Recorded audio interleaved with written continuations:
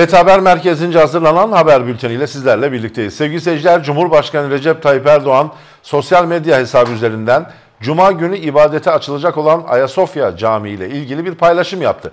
Başkan Erdoğan, Ayasofya, rüzgarlar essin kubbende hürriyetin, ta ezelden sen bizimsin, biz de senin dedi.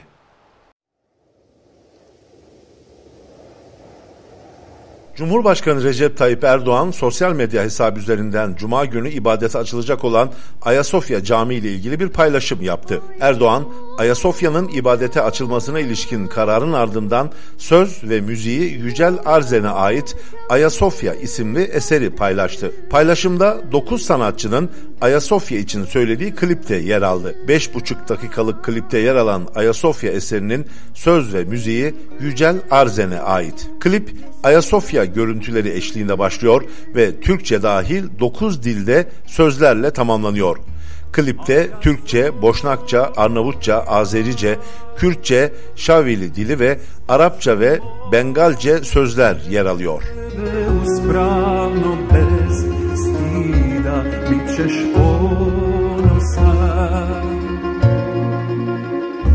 Na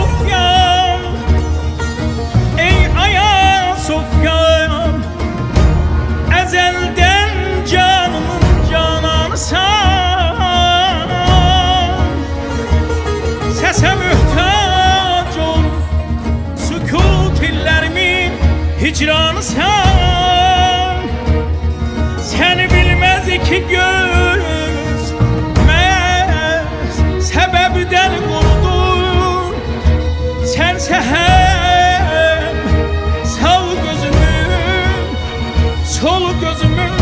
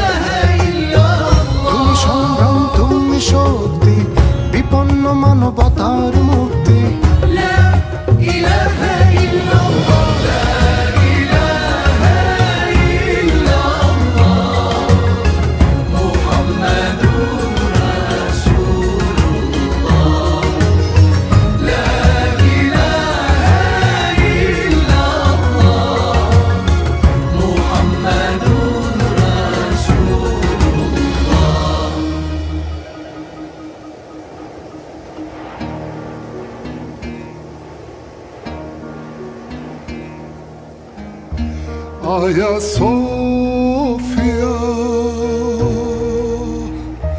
Rüzgarlar essin kubbende Hürriyetin ta ezelden. Sen bizimsin biz de senin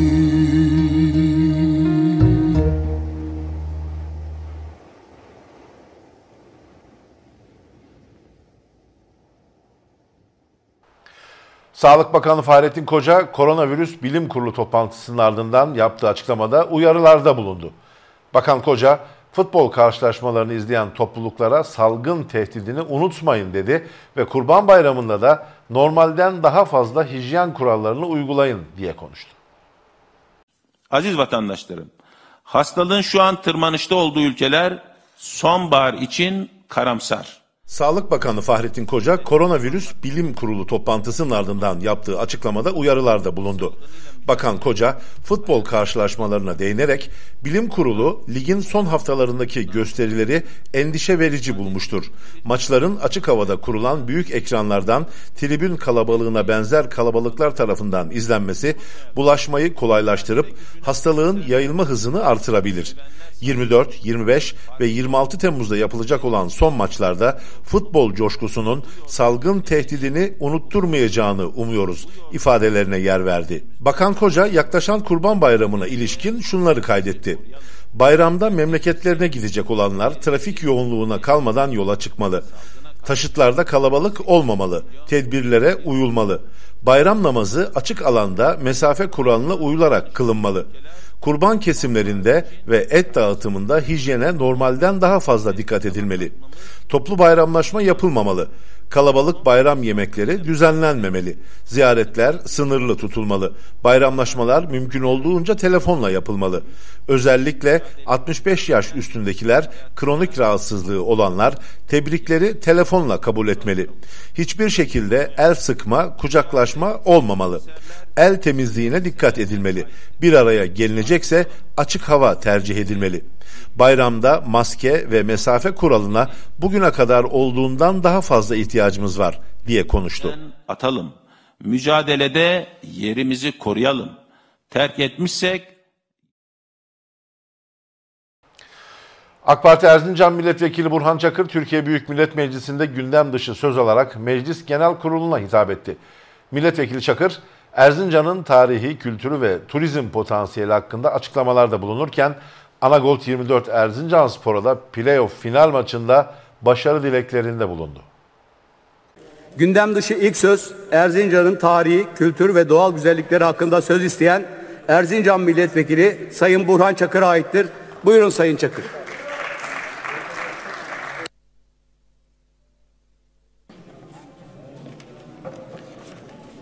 Sayın Başkan, değerli milletvekilleri, Erzincan'ımızın tarih, kültür ve turizm hakkında söz almış bulunmaktayım.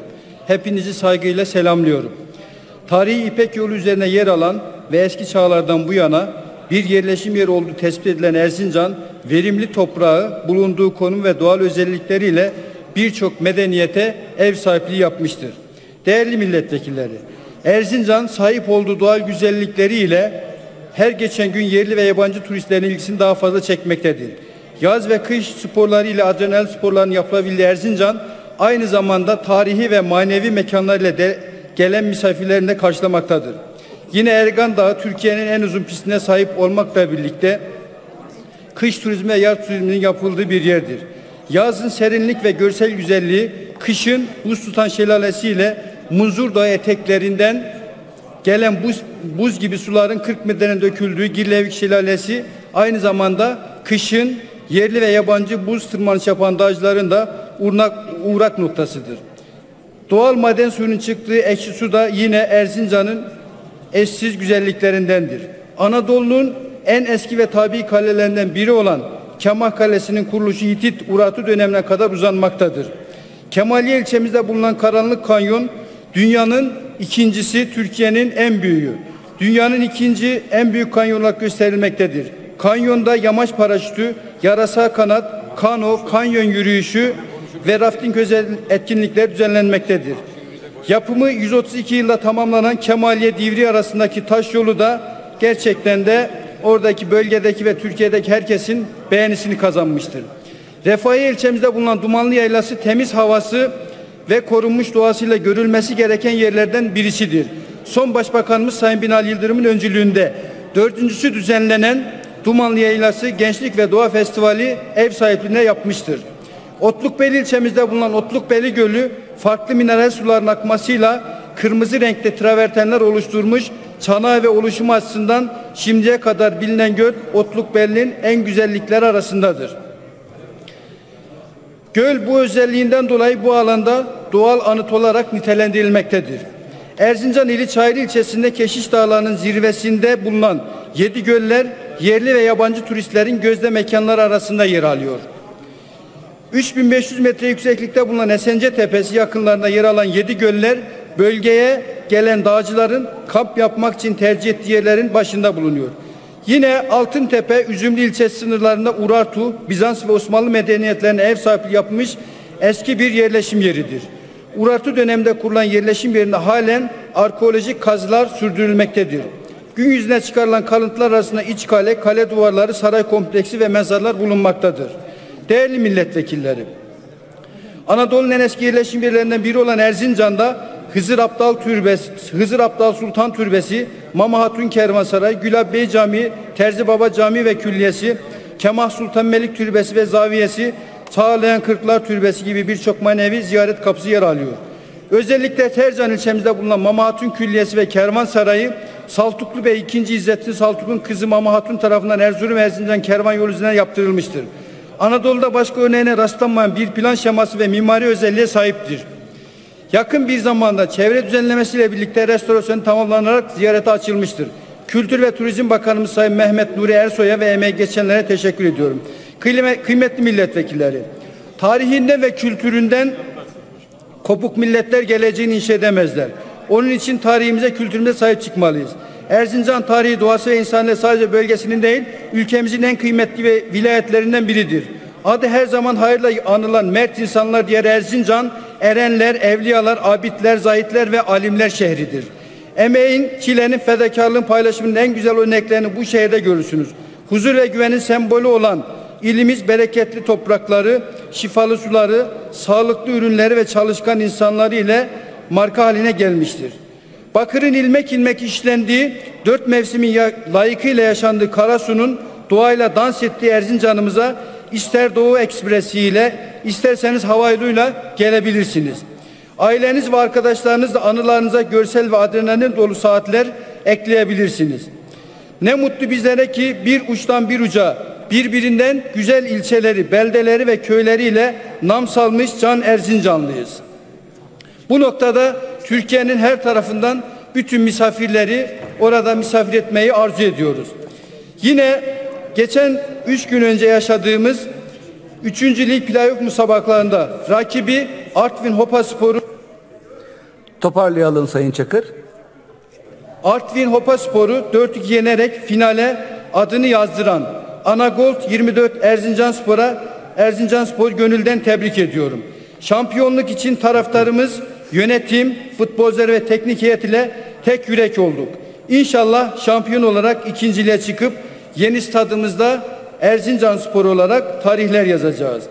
Yeni stadımızın yapılmasında büyük desteği olan başta Cumhurbaşkanımız Sayın Recep Tayyip Erdoğan'a yine son Başbakanımız Sayın Binali Yıldırım'a huzurlarınızda teşekkür ediyorum. Bu güzel stadın yapımında emeği olan Gençlik ve Spor Bakanlarımıza ve Erzincan'da bütün kanaat önderlerine, sivil toplum kuruluşlarına ve özellikle benimle birlikte yol arkadaşım olan Süleyman Karaman'a da buradan teşekkür ediyorum. İnşallah cumartesi günü oynanacak olan final maçında Aksaray Sporu centilmence yenerek ikinciliğe adımızı yazdırmayı buradan temenni ediyorum. Bütün sizleri ve Erzincanlıları tüm Türkiye'yi buradan saygıyla selamlıyorum.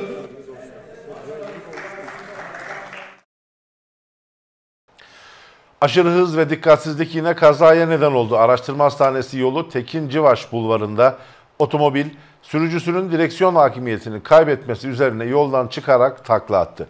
Ters dönen araçtaki sürücü çevredeki vatandaşlar tarafından yaralı olarak çıkarıldı.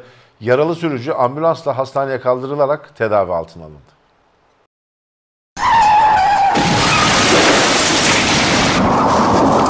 Erzincan'da meydana gelen trafik kazasında bir kişi yaralandı. Kaza Erzincan Merkez Tekin Civaş Bulvarı üzerinde meydana geldi. AB idaresindeki otomobil sürücünün direksiyon hakimiyetini kaybetmesi üzerine yoldan çıkarak takla attı. Ters dönen araçtaki sürücü çevredeki vatandaşlar tarafından yaralı olarak çıkarıldı. Yaralı sürücü AB olay yerine gelen ambulansla hastaneye kaldırılarak tedavi altına alındı. Ankara'da faaliyet gösteren Erzincan Dernekler Federasyonu'nun 8. olağan genel kurul toplantısı 7 Ağustos 2020 tarihinde yapılacak. Genel kurula tüm üyeler davet edildi. Ankara'da faaliyet gösteren Erzincan Dernekler Federasyonu'nun 8. olağan genel kurul toplantısı 7 Ağustos 2020 tarihinde saat 14'te Fevzi Çakmak Sokak numara 5 adresindeki Türkiye Şoförler ve Otomobilciler Federasyonu konferans salonunda yapılacak. Çoğunluk sağlanamadığı takdirde ikinci toplantı 15 Ağustos 2020 tarihinde aynı yer ve aynı saatte yapılacak. Toplantının gündem maddeleri şöyle: yoklama ve açılış, divan kurulunun seçimi, saygı duruşu ve istiklal marşı, faaliyet raporu ve denetleme kurulu raporlarının okunması, müzakeresi ve ibra edilmesi, tüzük değişikliği tekliflerinin görüşülmesi ve oylanması, yönetim, denetim ve disiplin kurulu üyelerinin seçimi, dilek ve temenniler. Erdef yönetiminden yapılan açıklamada genel kurul toplantısına tüm üyeler davet edildi. Doğu Anadolu bölgesindeki 5 ilde sağanak ve gök gürültülü sağanak bekleniyor. Sıcaklıklar ise mevsim normallerinde seyrediyor.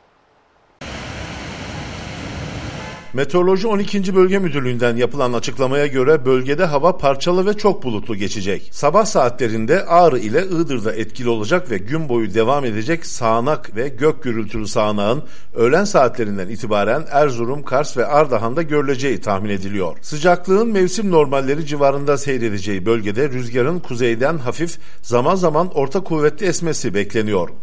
Bölgede gece en düşük hava sıcaklığı Ardahan'da 7, Kars'ta 9, Erzurum'da 14, Ağrı'da 16, Erzincan'da 17, Iğdır'da 22 derece olarak ölçüldü. En yüksek sıcaklıkların Erzincan'da 35, Iğdır'da 33, Ağrı ve Erzurum'da 29, Kars'ta 26, Ardahan'da 24 derece olması öngörülüyor. Sayın seyirciler, Anagolt 24 Erzincan Spor'un cumartesi günü Aksaray Belediyespor'la oynayacağı ikinci lig final maçı öncesi şampiyonluk primi açıklamaları devam ediyor.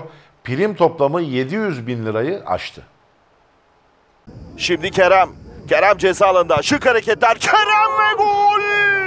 Anagolt 24 Erzincan Spor'un cumartesi günü Aksaray Belediyespor'la oynayacağı ikincilik final maçı öncesi şampiyonluk primi açıklamaları devam ediyor. Ulalar Spor Yönetim Kurulu tarafından 100 bin lirayla başlatılan ve kısa sürede 700 bin lirayı aşan prim açıklamaları devam ediyor. Siyaset ve iş dünyasıyla birlikte çok sayıda taraftar da kampanyaya katkıda bulunuyor.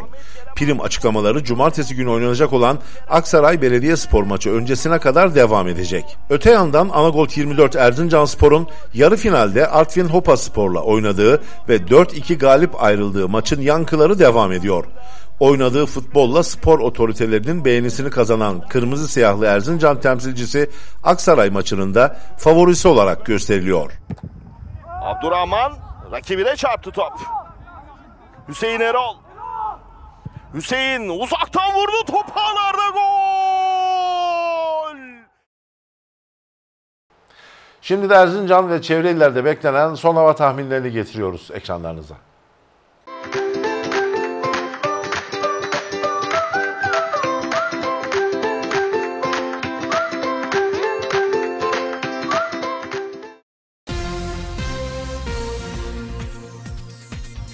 Erzincan 21.38, Erzurum 15.33, Sivas 16.35, Gümüşhane 19.39, Bayburt 15.35, Giresun 23.28, Elazığ 23.40, Tunceli 25.40, Bingöl 20.38,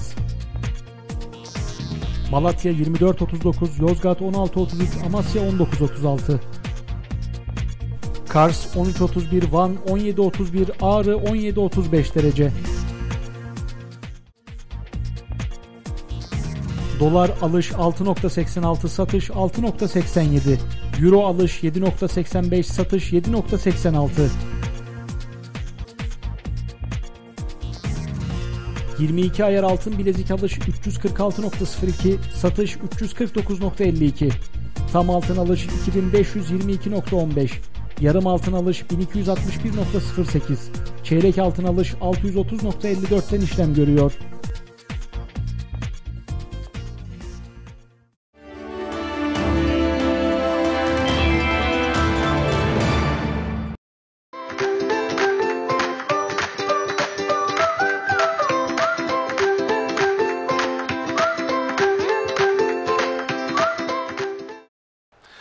Eret Haber Merkezi'nce hazırlanan haber bültenini izlediniz. Yarın aynı saatte görüşmek dileğiyle, hoşçakalın.